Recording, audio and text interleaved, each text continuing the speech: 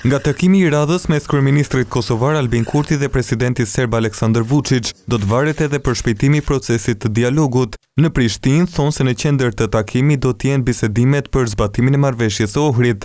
Ky takim i këtyre liderëve mund ndodhë që do ta hapë rrugën dhe do të shërbejë si një një incentive dinamikës së zbatimit të kësaj të marrëveshjes aneksit të marrëveshjes së Ohrit. Tash po futemi në një cikël të gjatë e të mundimshme të negociatave të vazhdueshme. Nuk po kryhet kurrgjo me marrëveshjen e Ohrit. e cila u proklamua si marrëveshje historike, sepse qysh po e shohim zbatimi i saj lë shumë për të dëshiruar, e njëkohësisht Kosova ka marrë obligime të cilat nuk po ka çare pa i zbatu sepse është zotu vetë që ka me i zbatu e kjo është thotë mas ni problem sepse po marrim obligime pa asnjë përfitim. Ish-bashkëpartiakët e Kurtit e kritikojnë qeverinë për ecurinë e procesit të dialogut me Serbinë. Sipas tyre në qendër të bisedimeve duhet të ishte njohja reciproke.